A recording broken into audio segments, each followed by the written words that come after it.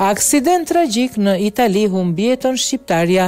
Një aksident tragjik i ka marrë jetën një shtetase shqiptare në Itali. Pavarësisht ndihmës së shpejtë mjekësore ajo humbi jetën në vendin e ngjarjes. Gruaja po kalonte rrugën pranë një kryqëzimi semaforik, por jashtë vendkalimit të këmbësorëve, Bëjnë me dije mediat italiane, një makinë tip Polo e goditi dhe viktima fluturoi disa metra në ajër. Ajo është identifikuar si Rabia Beshi, shtatëdhjetë vjeç, banuese prej shumë vitesh në Urbania.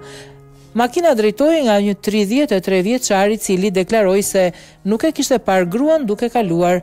Trupi pa jetë është dërguar në morgun e qytetit në dispozicion të organit gjyqësor.